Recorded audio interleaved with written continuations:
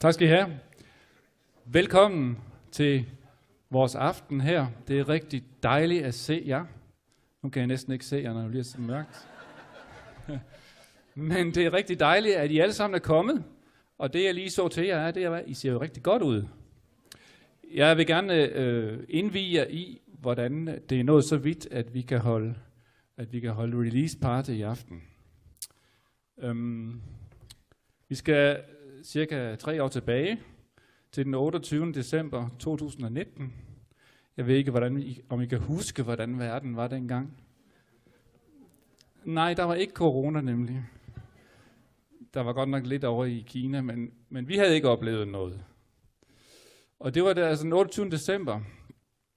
Øhm, og der sagde jeg sådan henkastet til min kæreste Annika, om øh, ikke vi manglede en nytårssang. Jeg manglede sådan en nytårssang til mit kor, til mit kirkekor der, de, de kunne synge den 1. januar. Og vi snakkede sådan lidt frem, om, frem og tilbage om, hvad der var af nytårssange, og vi kunne ikke komme frem til enten et par stykker.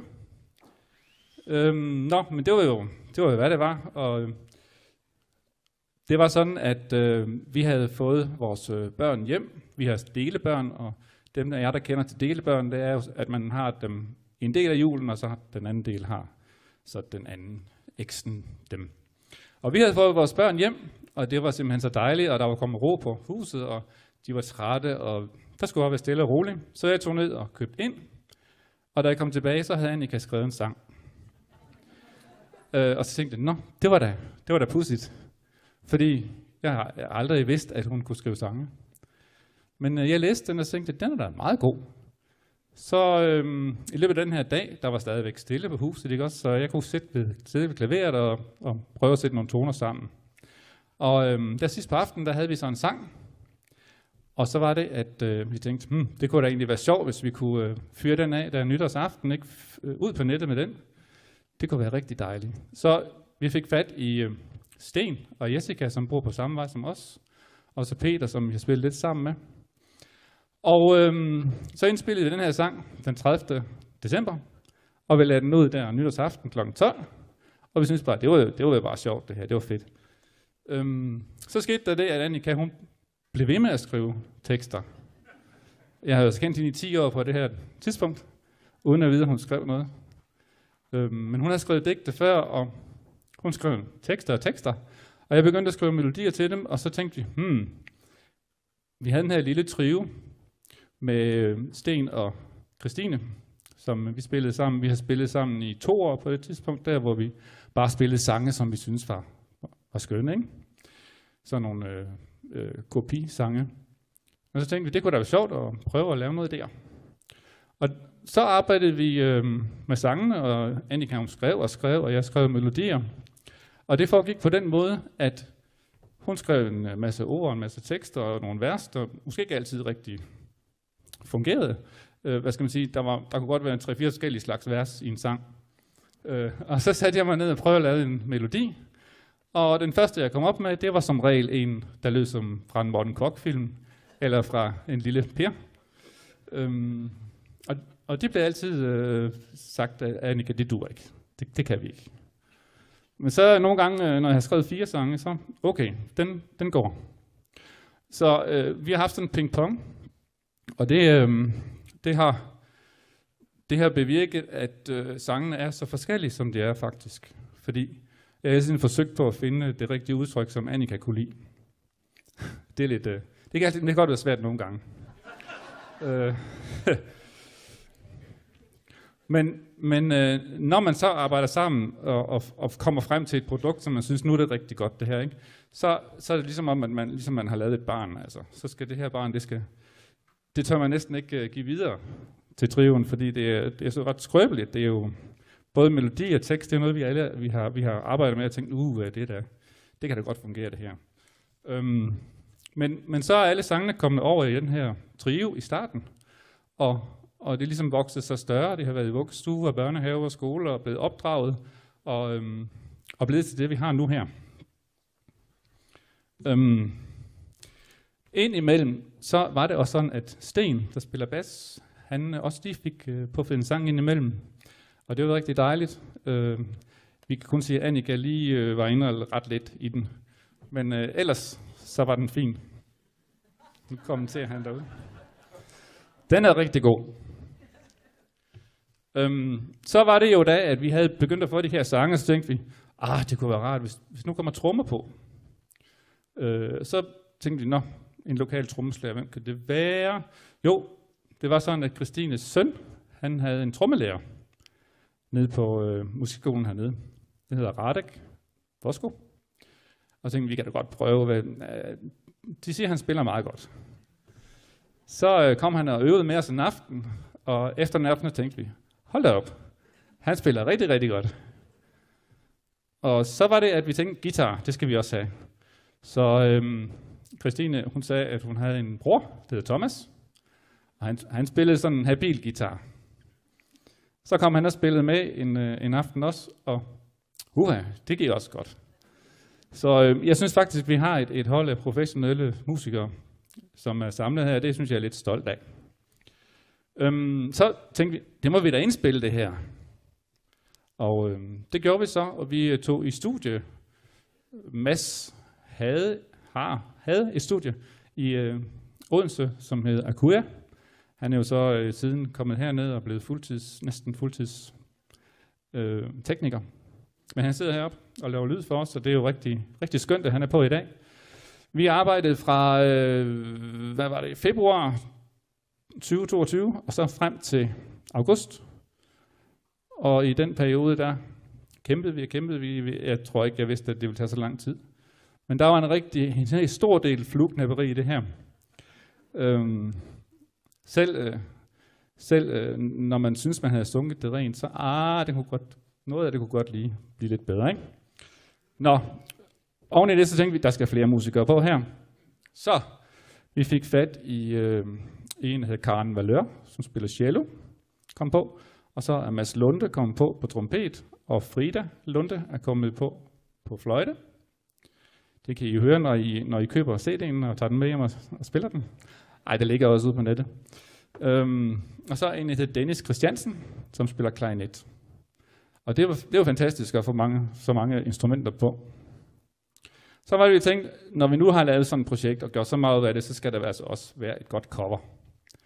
Og så Annika, hun har en, øh, en gammel skolekammerat, som bor i Vordingborg. Hun hedder, øh, hedder Borg. Og øh, hun blev simpelthen sat i gang der lige før sommerferien med at lave et maleri, som står herovre. Øh, hun fik alle sangene tilsendt, og så har hun ligesom selv fundet ud af, hvordan det skulle være.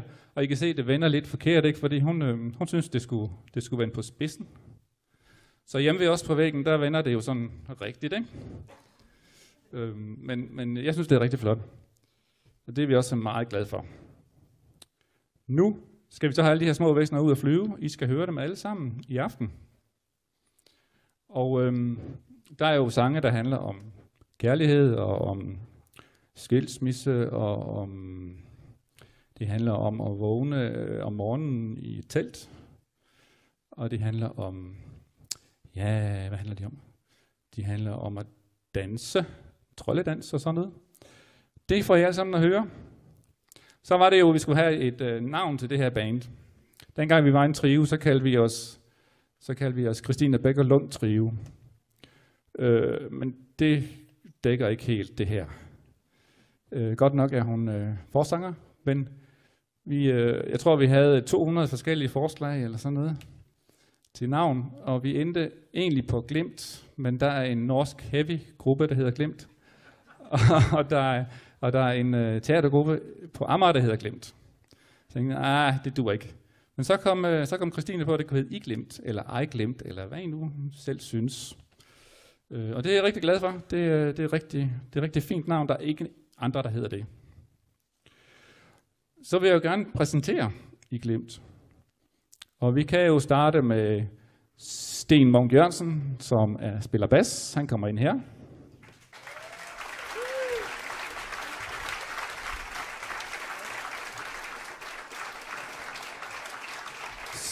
Så har vi øh, Thomas Lund, der spiller guitar.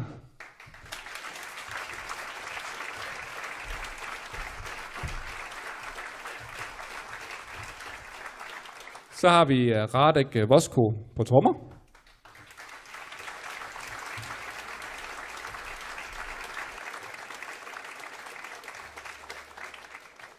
Og endelig øh, vores diva, det er Christine Becker Lund, der synger. Og jeg hedder Stefan K. og spiller klaver.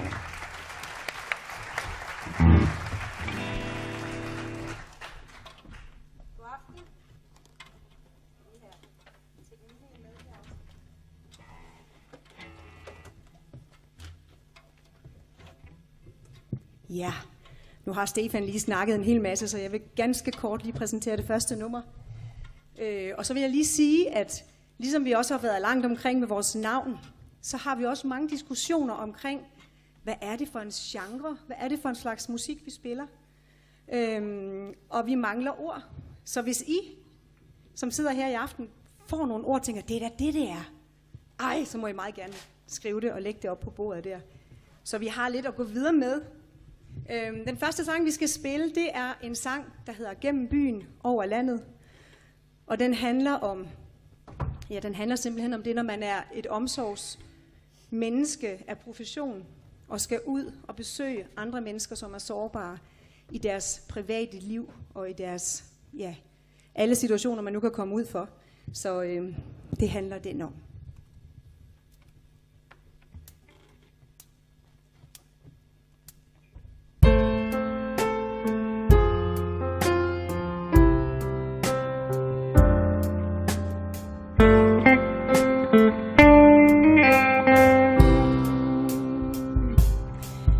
Friske luft bliver båret ind.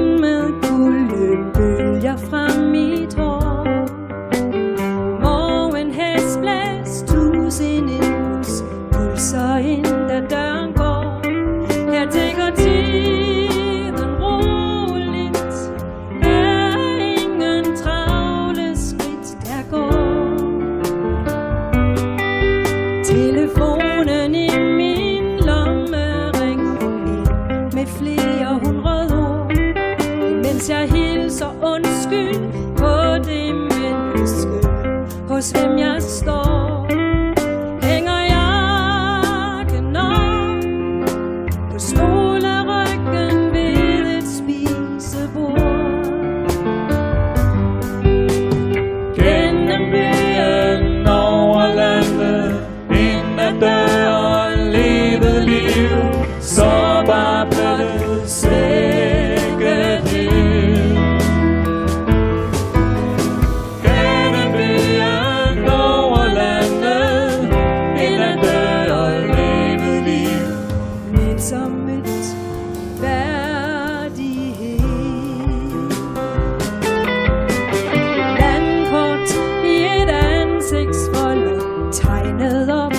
af lys fra blik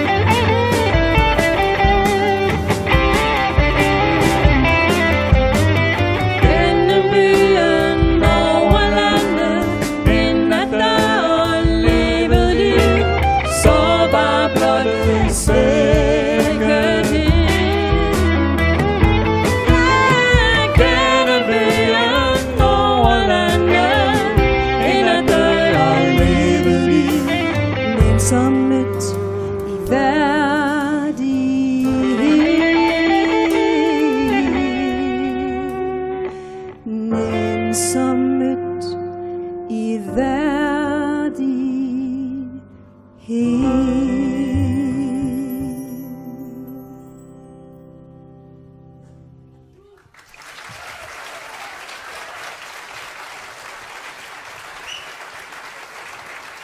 Tak skal I have.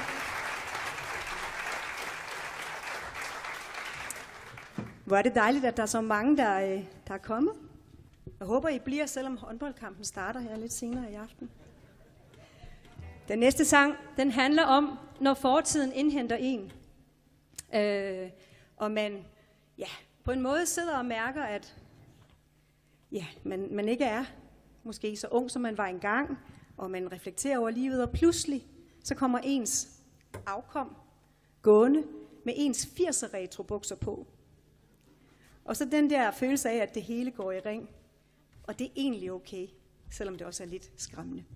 80'er retrobukser.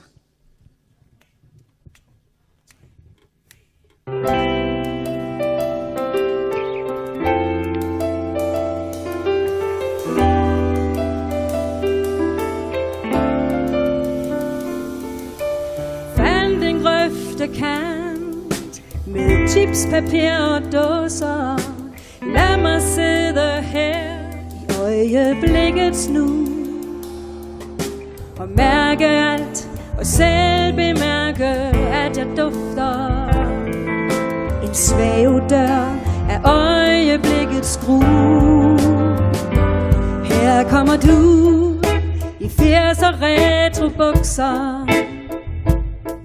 Og en gang var det mine for en stund Nu står du der og minder om min ungdom. De bukser var kun borte for en blund Borte for en blund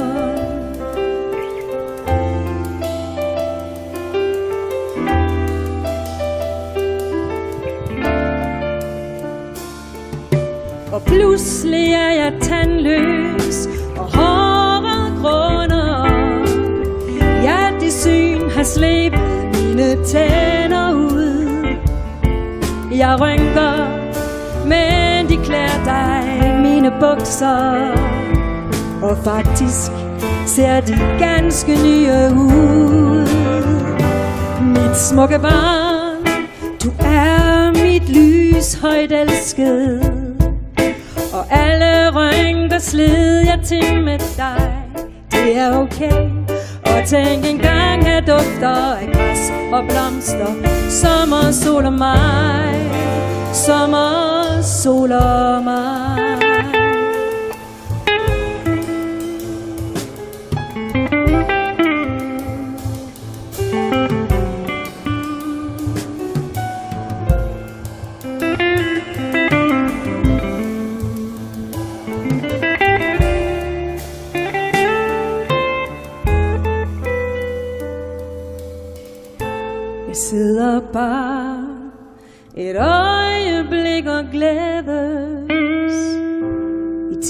Som har fløjet dig til værs.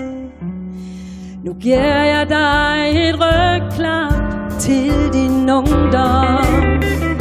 Jeg rejser mig om end med lidt besvær. Kommer du i 80'er retrobukser. Og en var en Nu står du der og minder om min ungdom De bukser var kun borte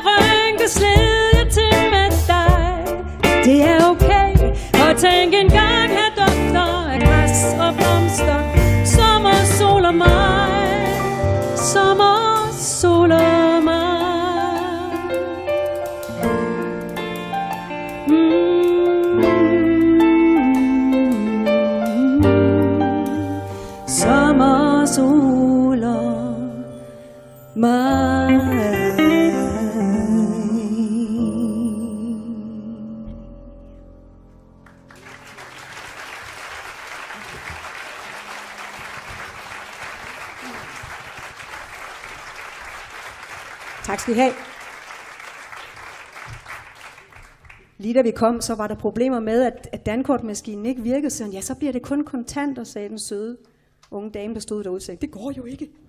Men uh, jeg kan se på bordene, at det er gået, det er gået godt. Og det var godt. den næste sang, den handler om, når man bliver fanget i et andet menneskes energi og revet med. Øh, og ja, glemmer lidt at mærke sig selv. Og det kan jo være både fantastisk nogle gange at give sig hen på den måde, men det kan jo også gøre, at, jo, som sagt, at man glemmer sig selv, og man skal sørge for at holde fast. For det kan jo være, at alt ikke er helt, som det skulle være. Jeg fester med din fest i nat.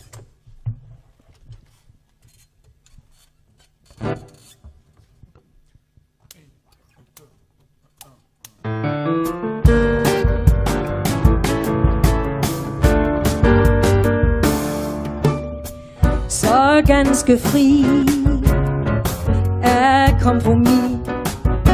Skråt står din sikkerhed. Det er charmeri og frisk vækkeri I ord fra talegaver. Fascination Komplikation. I hengivenhed Kom, følg med mig Og tal af der svej Med alt hvad formes lykke. Jeg fester med din fest i nat Og alt tvivl er efterladt. I søsort vand er teltet sat. Kulørte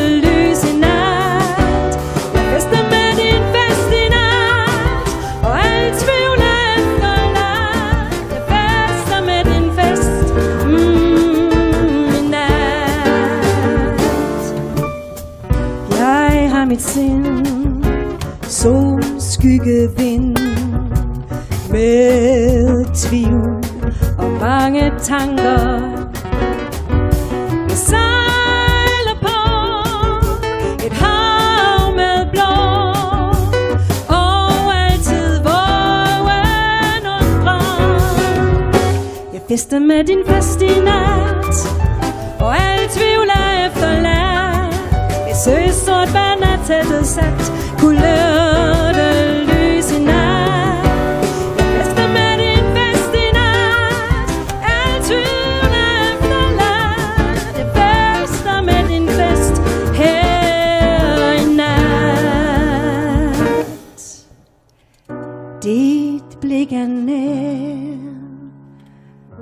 mm, Jeg ser en sær Mørk plet Med vanvids dybde En urovagt I hjertets takt. Der springer slaget over. Jeg fester med din fest i nat.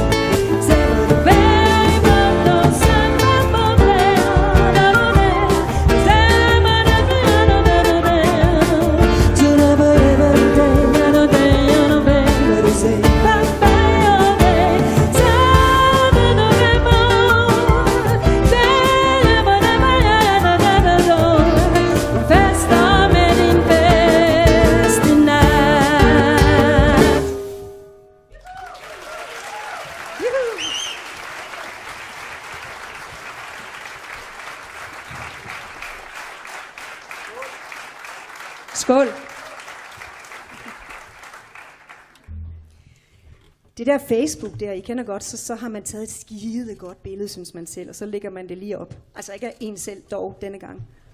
Men øh, den, den der fine nye hæk, som jeg havde fået plantet med min, med min mand, sådan en halvfærdig en, og su- fuldmånen stod, og de stod der, og det var bare så flot.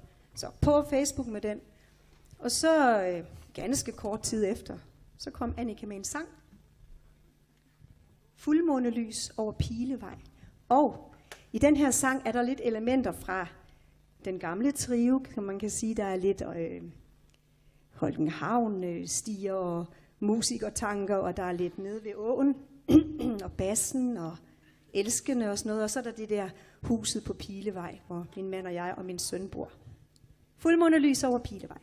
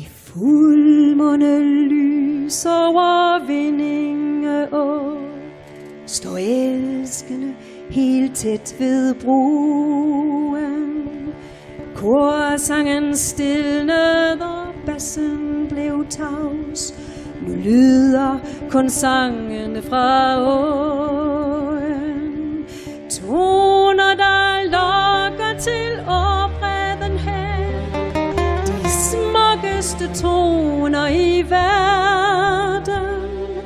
Trynen spiller med månen som vand til tanker, der trækker mod tungsind. Med udslået hår svæver drømmene mig ud i dans med min dyr.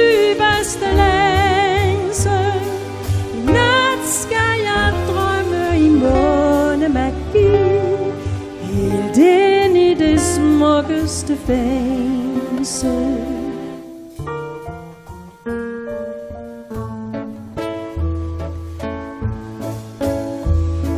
I fuldmåne vandrer han mod Holgenhavn. Af stien med opbrudte skinner. Med guden og sange i rytmeglad sjæl. Brutus mørke klange med minder.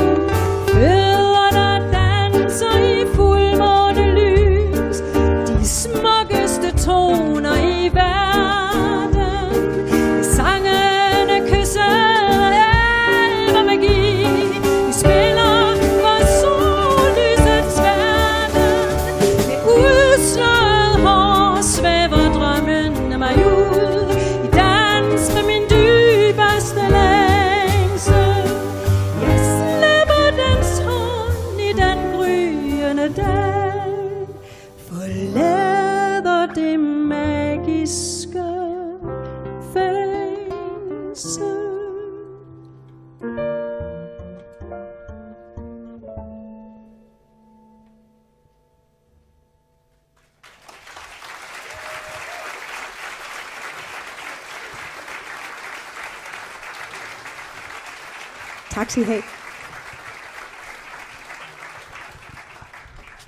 Ja, Annikas tekster kan ikke sige sig helt fri for også lige skulle ind en gang imellem lige og have lidt kant på miljø, lidt selvironi, lidt, øh, og lidt, ikke nødvendigvis selvironi, men ironi over andre også. Og øh, den her øh, bølgeskulp, som vi skal spille nu, den er en et kærligt, lille kærlig, jeg kalder den egentlig lidt vores revynummer, faktisk. Det tror jeg ikke, jeg har sagt højt.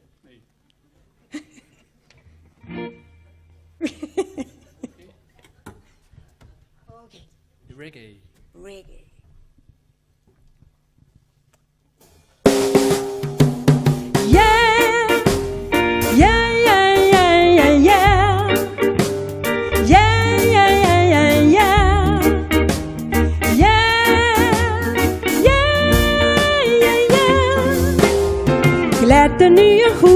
Glasfacader Langs stierne med brun nyplantet bøg Møbelduften bølger gennem glassets flader.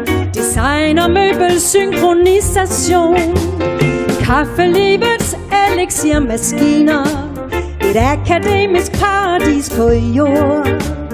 Frigjort fra vor fortidstyngende rutiner. Gør macchiato-bølger og spølgeskuld Designer livets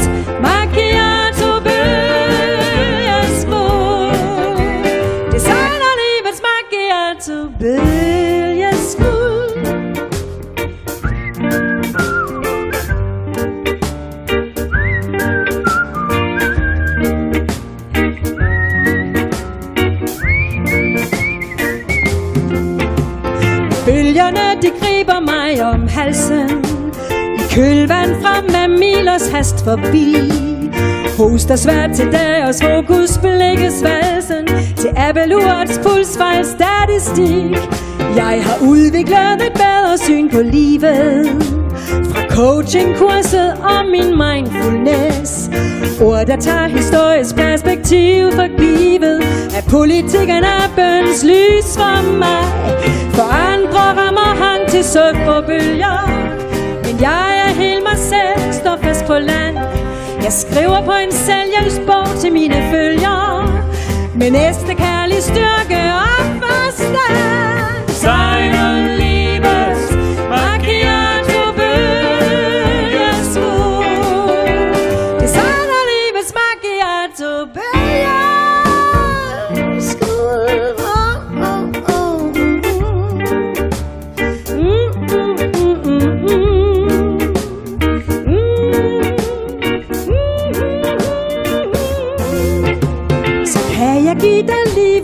livets staveplade En super lækker nytrykt selvhjælpsbog. Den går fint til macchiato, kaffeglæde Designerbord til et appelur Designer livets macchiato bølger skuld Designer livets, åh, designer livets, ja, yeah, designer livets macchiato.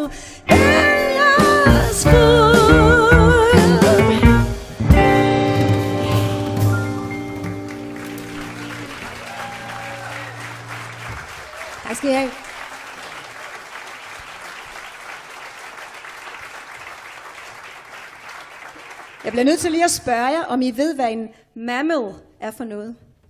Er der nogen, der ved det? M-A-M-I-L. Det, står, det er engelsk, og det står for Middle-Aged Men in Lycra. Og, og det glemte jeg at sige før, fordi det er jo nogle af dem der, der haster forbi overalt, ude på landeveje og inde ved søerne i København og sådan noget. Man springer for livet, når man kommer gående med en veninde eller en barnevogn eller sådan noget. De skal nå deres tid over for rødt hen til næste sø. Nå. nu skal vi have den der skønne sang, som Stefan snakkede om, startede det hele. Vi skal have nytårssangen, øh, som jo egentlig også handler om, ja, altså man reflekterer jo tit til nytår, man reflekterer over, hvordan ting har været, man tænker tilbage, og man har måske haft gode tider, men også tunge tider, og det tager den her sang, Jeg vil give jer alt det bedste, fat i. Godt nytår.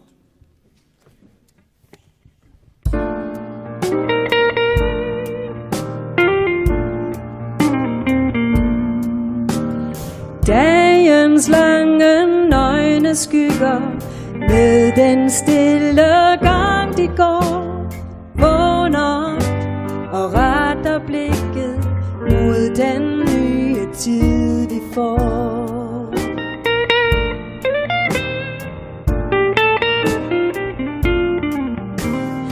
Rustning blev de mine vinger.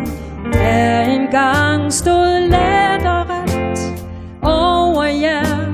Jeg elsker højest Kamp og sorg. Jeg blev så træt. Og jeg vil give jer alt det bedste Af mig selv og meget mere. Mine allerbedste næste ønsker vi hinanden ser. Jeg bliver tung i mine skuldre, og erkendelsen er svær. Jeg har tabt så mange dage i en mørk og grusom her.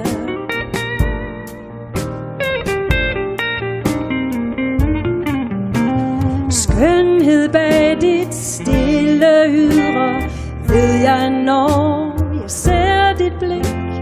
Kærlighed omkring dig bringer Varme rum og smuk musik. Og jeg vil give dig alt det bedste Af mig selv og meget mere.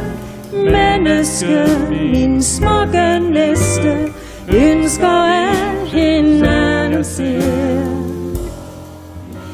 Nu krasser dine milde kinder mod min nakkes nøgne hud. Jeg kan tro på dine hænder, vingens lethed foldes ud.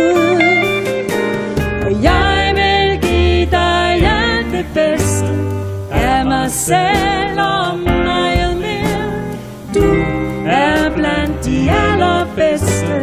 Ønsker vi hinanden ser. Og jeg vil give jer alt det bedste af mig selv og meget mere. Mine allerbedste næste, ønsker vi hinanden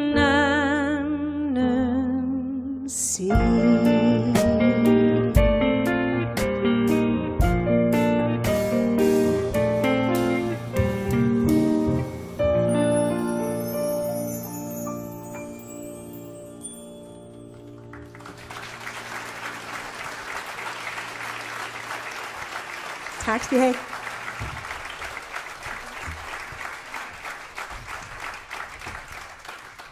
Som I kan høre, så kommer vi lidt rundt i genrerne.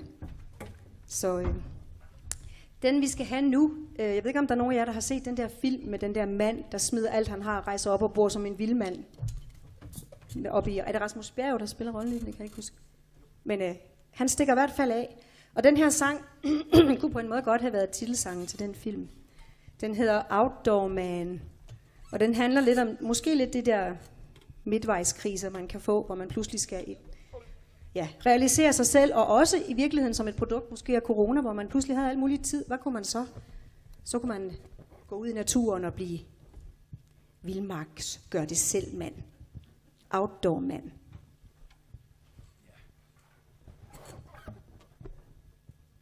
Stidig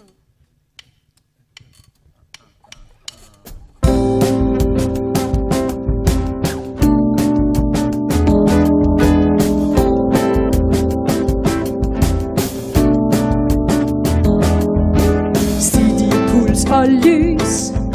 Kulturen som den nærer. Adrenalinens kick. Succes og karriere. For alting går ham godt. I masterstrategier En platform brænder hot. Cirkeløkonomier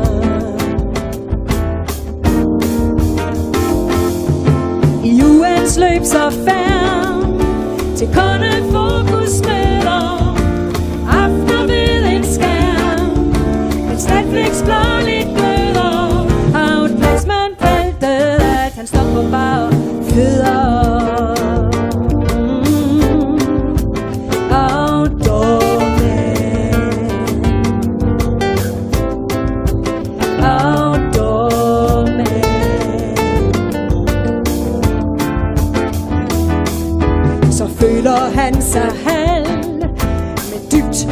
fra sine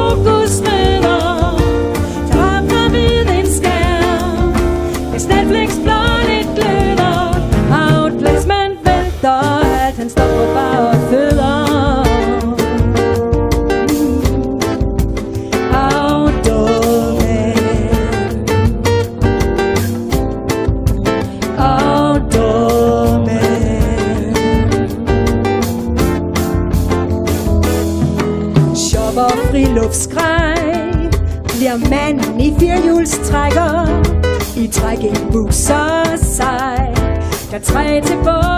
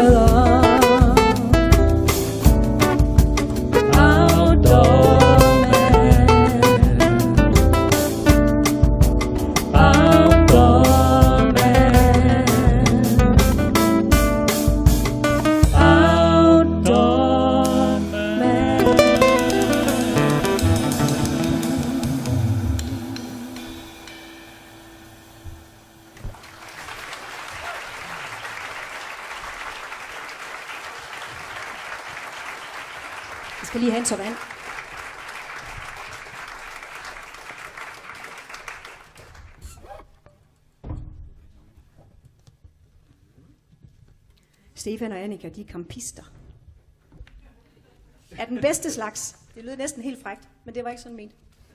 Jo, det er faktisk også lidt frægt. Men øh, det er sådan en lille, lille bitte campingvogn, man kun lige kan sove i, og så vipper man bagenden op, og så kan man stå og lave mad og sådan noget. Alt, alt er udendørs. Det er jo det, jeg siger. Nej, det var det, jeg ikke sagde. Eller hvad skal man sige?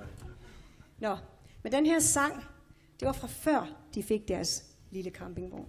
Så der var de ude med telt. Og den handler om det her med at vågne langsomt, stille med naturen og gå ud og bade og bare være med sin elskede. Sommernøgen.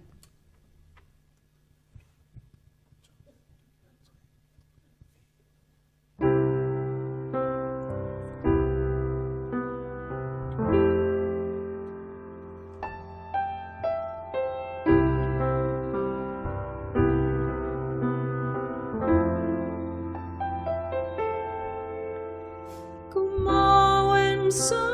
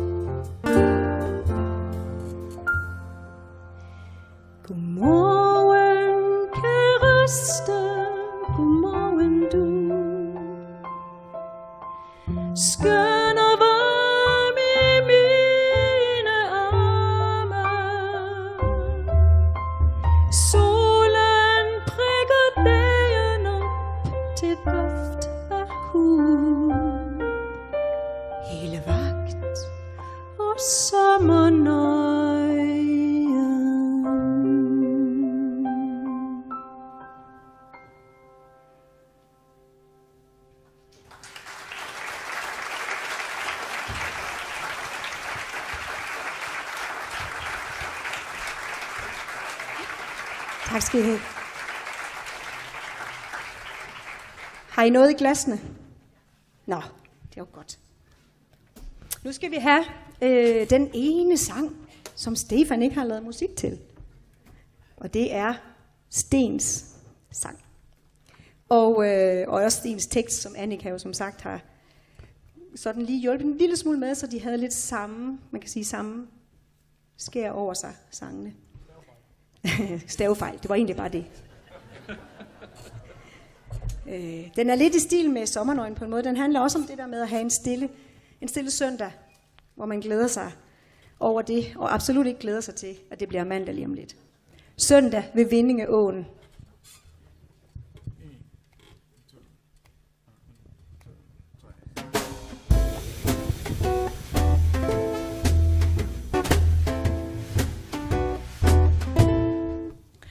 Denne nat har jeg sovet så længe Mærket duften af dig kom forbi.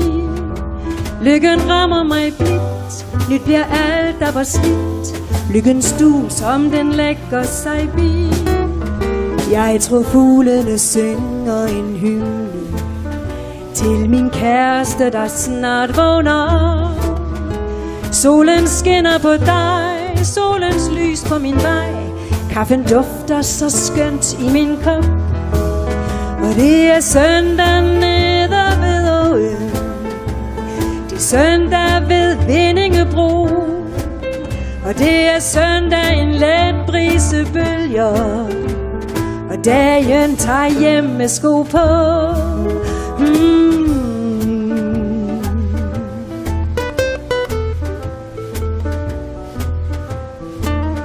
Byens lyde begynder at vågne.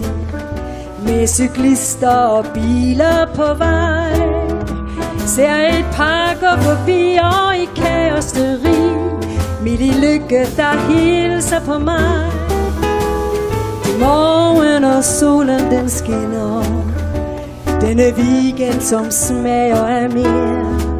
Jeg vil drikke den op, ligesom kaffen er kop. Indtil dagernes øjne vi ser. For det er søndag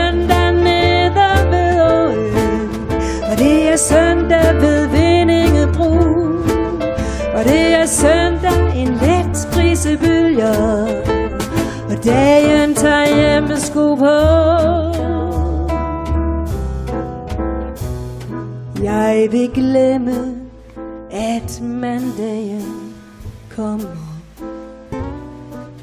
Jeg vil glemme den uge, der gik. Døren op, min hund vil ud jagt for et skud. Jeg giver opslag på Facebook et stik. Søndag nede ved åen Søndag ved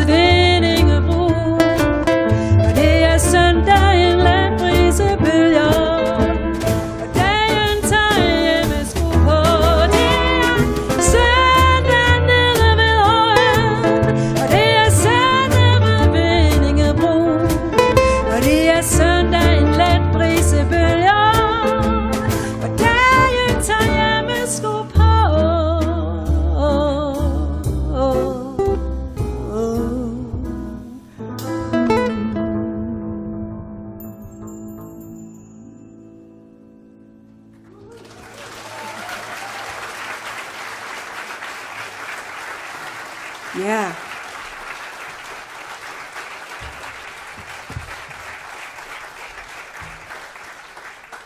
Som sagt, så blev mange af de her sange, de blev jo skrevet under corona. Og øh, den her sang, den handler om den sommer, der aldrig blev. Så der er ikke så meget mere at sige til den end det, fordi den blev ikke. Alt det gode blev ikke. Kommer her.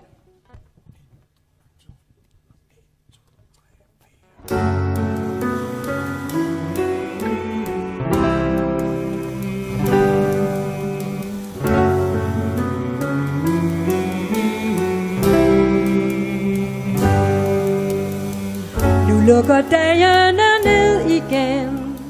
For lyse aftener og unge blade Lysgrøn forventning om blomsters flor. Lyden og varmen fra sommerglæden. Det var den sommer, der aldrig blev. Helt som en sommer, nu burde være. Endnu den summende stemmers rus I sommernatten blandt alle nære Det var den sommer, der aldrig blev Det er som en sommer, nu burde være Endnu den krammer og kys på kæld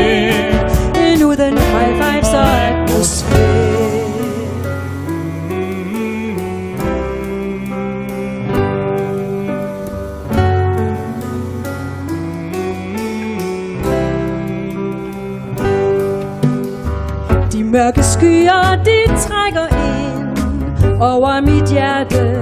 En skygge De trækker ind med den stille sol Over en glæde,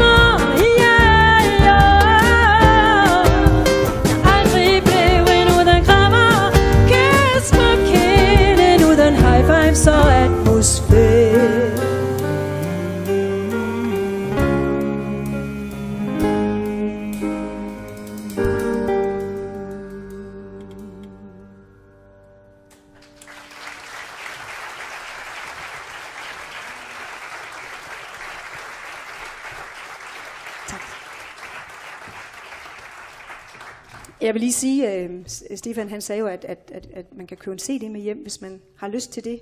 Og så vil jeg bare sige, det der med, at det er online, ikke? det er meget fedt at have den, fordi den har et cover, så den har sådan et billede med.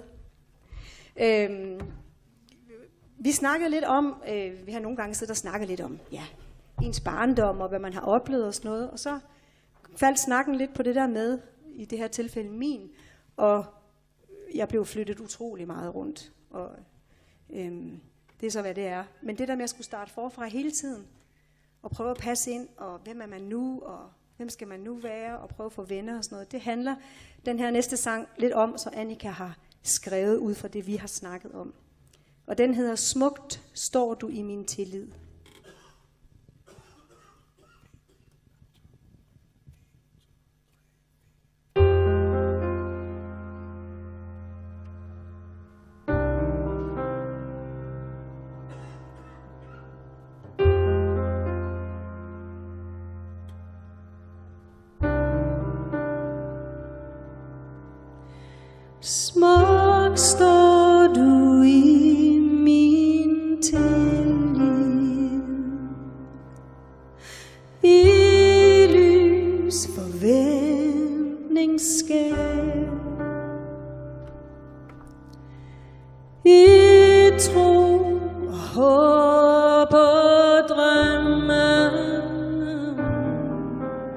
Der starter lige her lige her.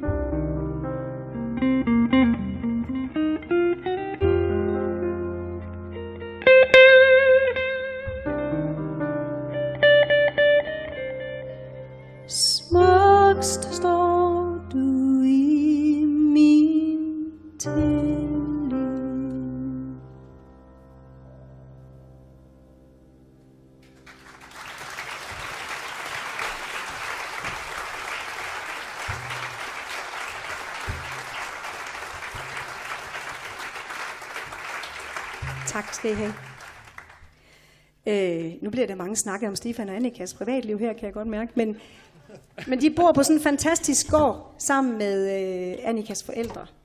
Og det er lige herude i Vindinge, men når man kommer derud og står ud af bilen, så er det som om, man har kørt fire timer ud på landet. Der går får, og der er høns, og ja, nu er Tinka jo desværre ikke mere, men Tinka kom tristende ud og sagde goddag, når man kom og skulle øve. Øhm, og den her sang, Kollas forsang, og Kolla det er Annikas mor, øh, handler simpelthen om det. Forårsdag på gården. Jeg vil bare lige sige, der er en, der er en ting, der er specielt ved vores CD her, og det er, at der også er et teksthæfte, fordi alle de her ord, de, de, de skal jo med. Så der er sådan en meget fin teksthæfte med en sang på hver side, øh, som I kan nyde, hvis I køber CD'en, ikke?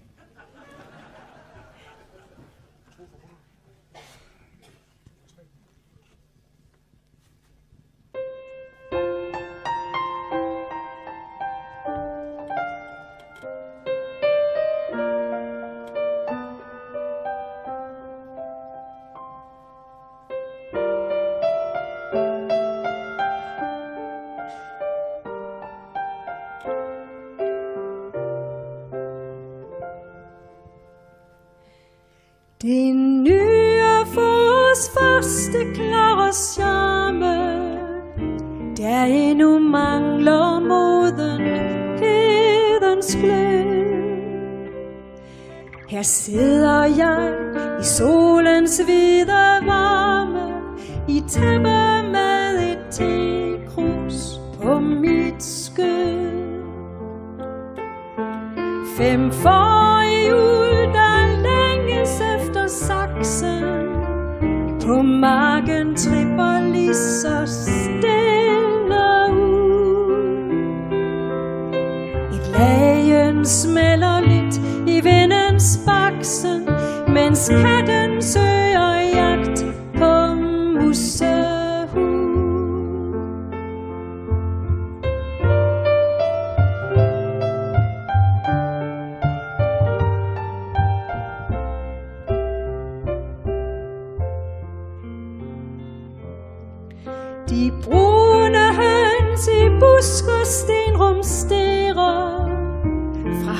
hønsehuset for et krav. Og hanen fra sin top Stolt triumferer Hans ekko gælder i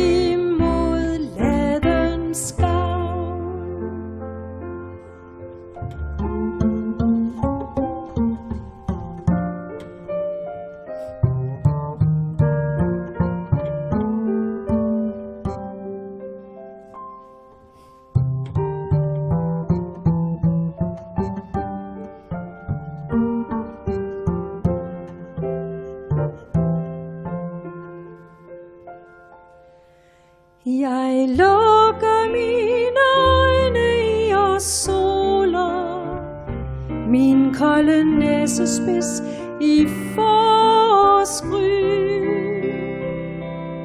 Og hænderne om krusets varme poler Nu lader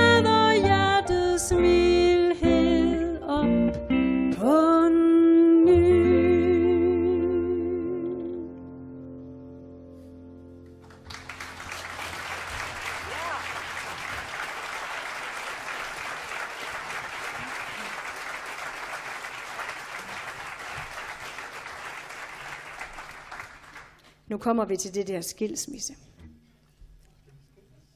Ja. Jeg tror faktisk, måske langt de fleste af dem, der sidder herinde, har prøvet det der med, når noget, man troede på, går i stykker. Og så, ja, starter man forfra. Så er det ude i IKEA igen. øh, eller, alene, eller alene i Føtex med handlevognen. Sådan er det. En, der gik sin vej,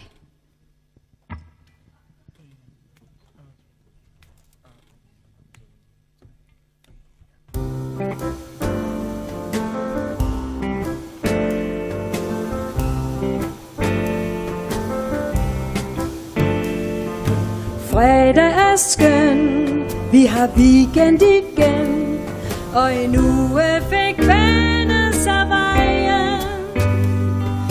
Da du kom hjem, kom du aldrig herhen. Nu blev dagene bare så trange. Øtexasken mm, mellem 4 og 5 på en lørdag alene med vogne Men når jeg når hjem, er vi svigtet igen. Ingen kender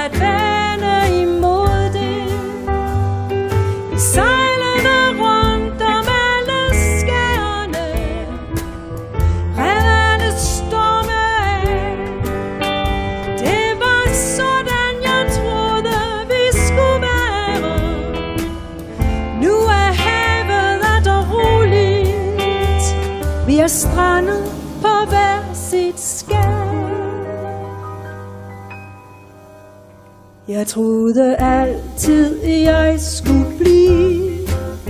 Nu blev jeg den, der gik sin vej.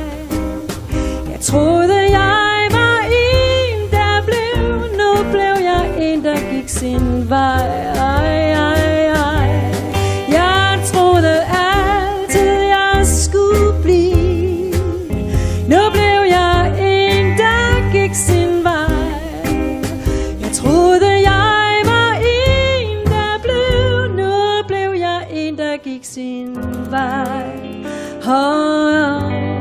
Der gik sin vej.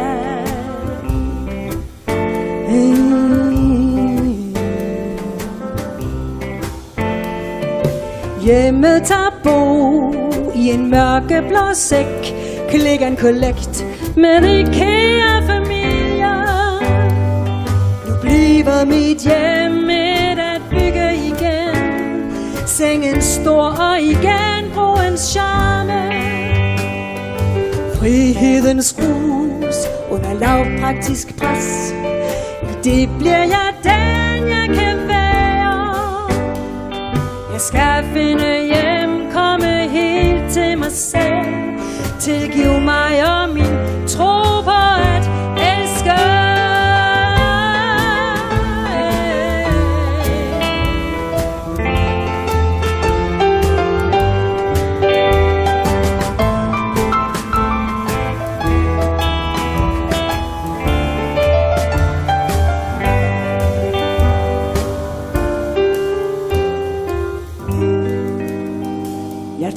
Troede altid, jeg skulle blive.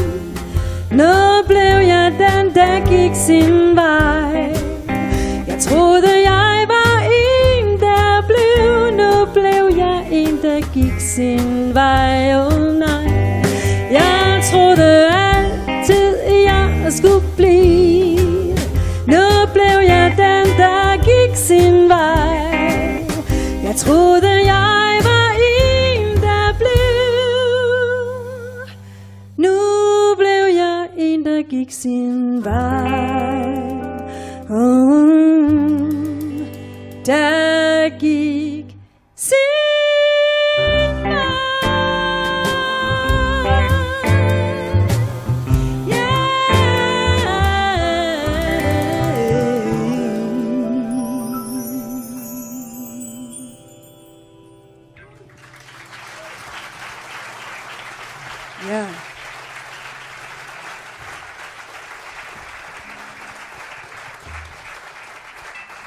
nærmer os øh, slutningen på aftenen, i hvert fald med musikken.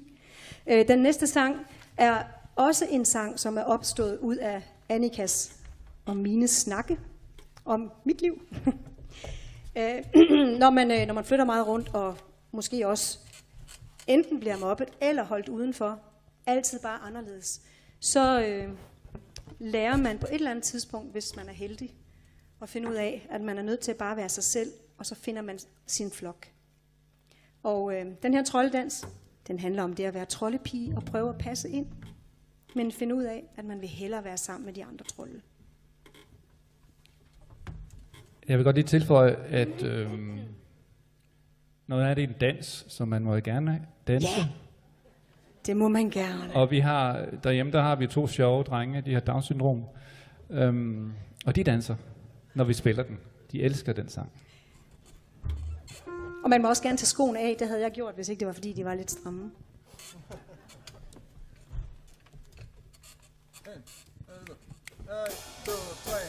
Na, na, na, na, na, na, na.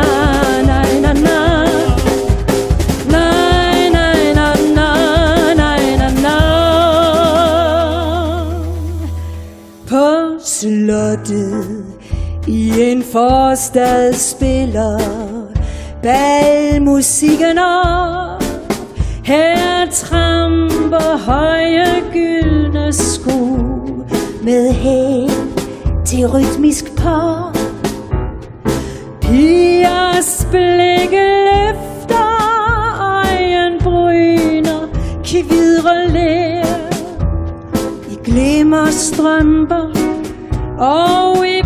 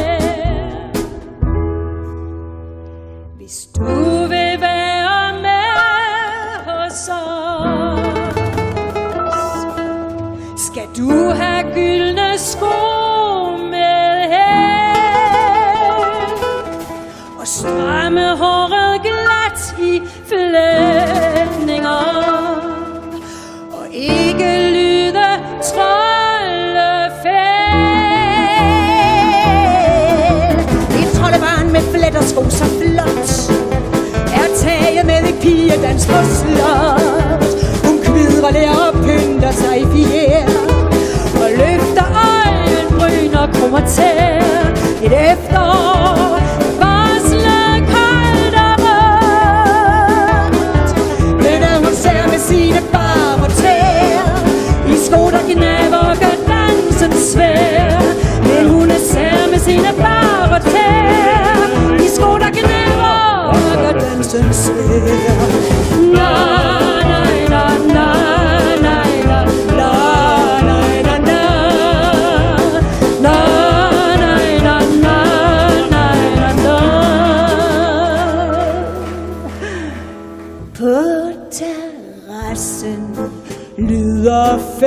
distant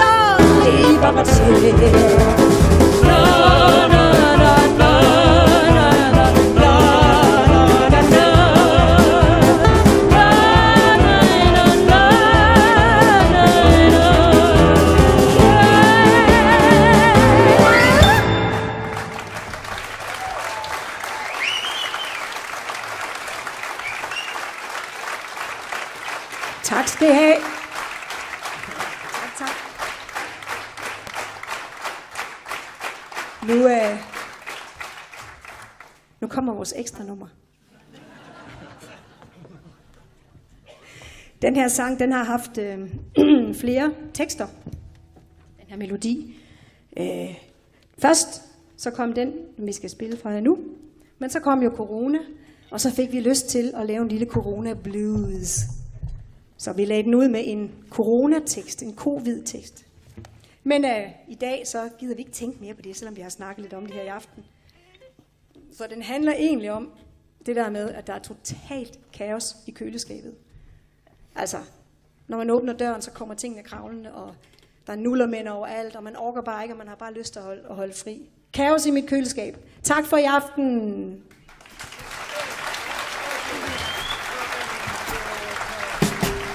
Hey,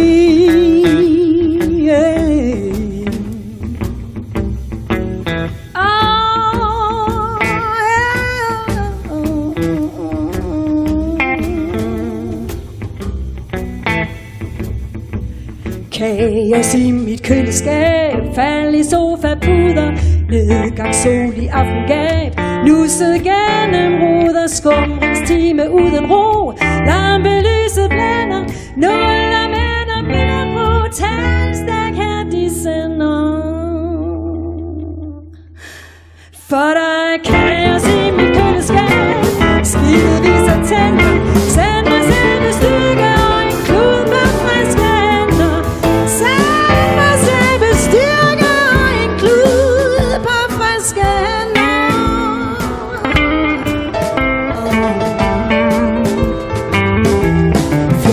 Fjernbetjent til tv-stål evig krim i tryghed, chips til fredagsøl i mund, luften sur af sved, natten kom og dagen gik, dyne tæthed frister, i morgen mangler jeg bestikker,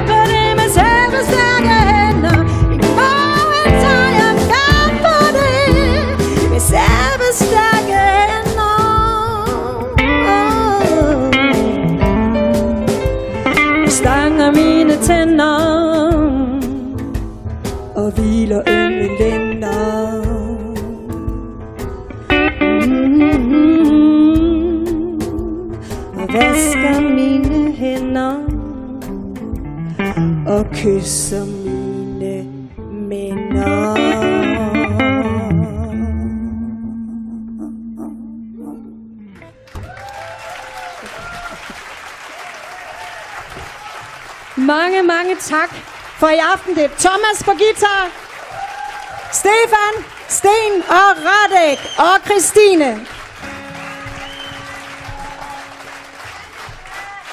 Og Annika. Og Annika på lyrik. Og Mads på lyd. Og Bastionen. Ja. Yeah.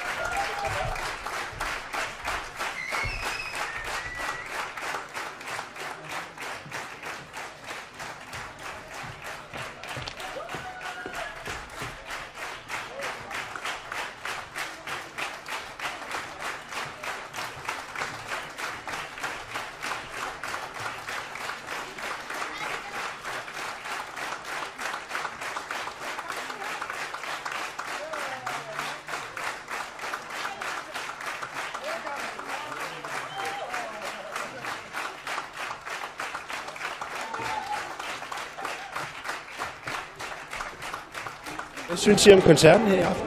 Jamen, det er fantastisk, ja, ja. Det er jo vores dirigent i Nyborg Motetkor, der er forsanger her, Christine.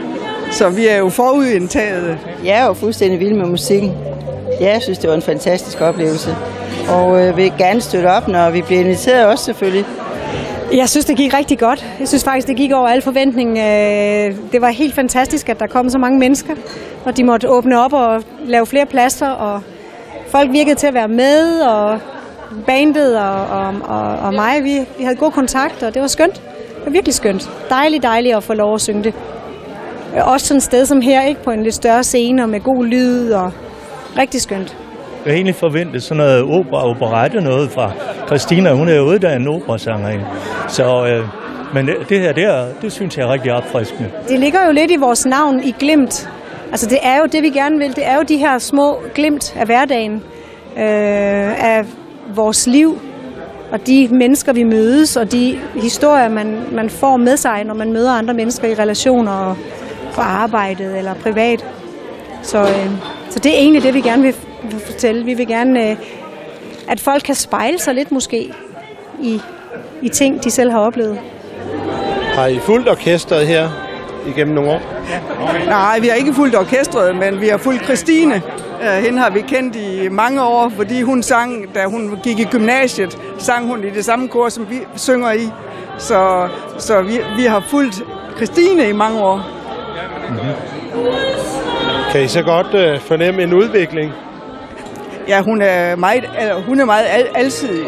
Rigtig meget altid. Ja. Så vi har set hende før i optræde øh, med operaretningen, og Opera og operetteretning, ja. ja. hun gør det rigtig godt. Hvad skal der så ske nu? Har I flere jobs? Ja, det har vi. Men vi vil jo gerne have flere. så vi skal til at prøve at se, om vi kan sælge det. Om vi kan komme lidt ud med det og få det spillet rundt omkring.